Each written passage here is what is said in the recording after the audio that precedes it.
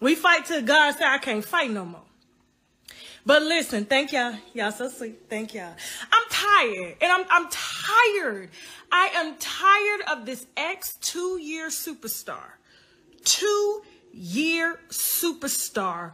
One album, three singles, three features, still bragging about that one album that you sold the publishing rights to because you needed the money.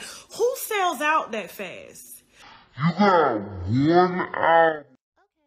Okay, so regardless if you love or hate her, we definitely know her name, and that is Miss Tasha K.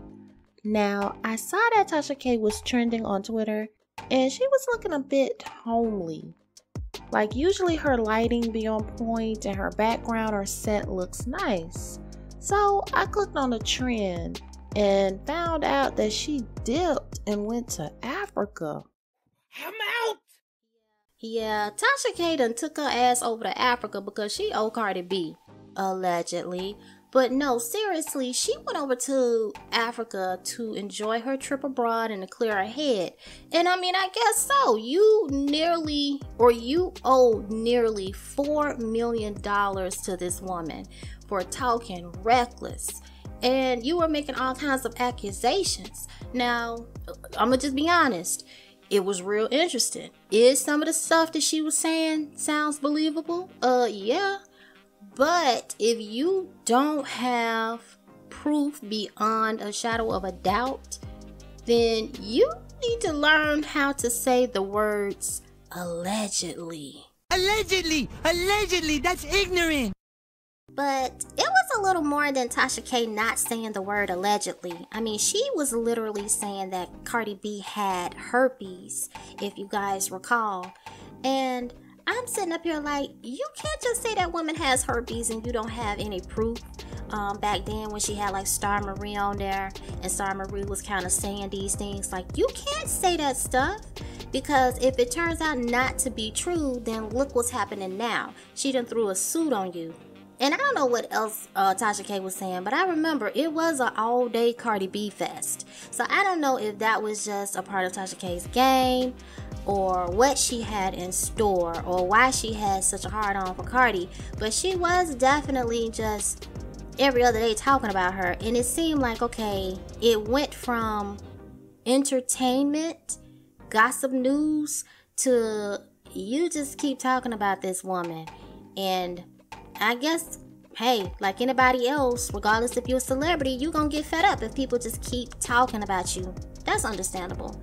But we really kind of have to look or keep up with this case just a little bit because anybody that's doing any type of talking, like, are you going to be slapped with a lawsuit? Here's my thing you can have your opinion. Your opinion is not illegal. But when you try to present your opinion as facts when it comes to somebody else's name, then it can get into being defamatory. So that's just how I think um, it goes. If anybody has any opinions on that or knows, you know, let me know.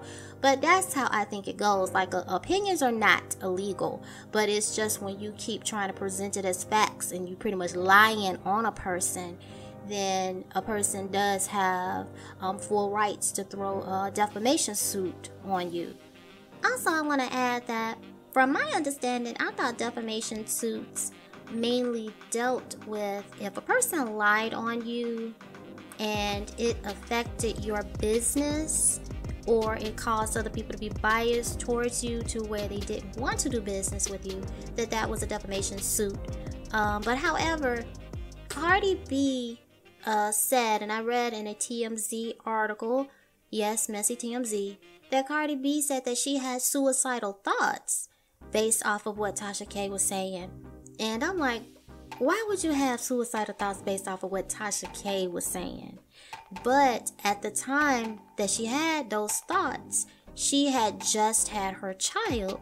So you never know what a person is going through. She could have been dealing with postpartum, and then you're hearing somebody like, you know, putting dirt on your name.